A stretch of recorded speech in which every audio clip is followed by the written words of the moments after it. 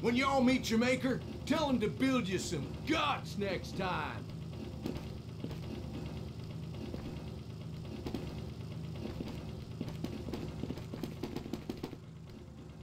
Nope.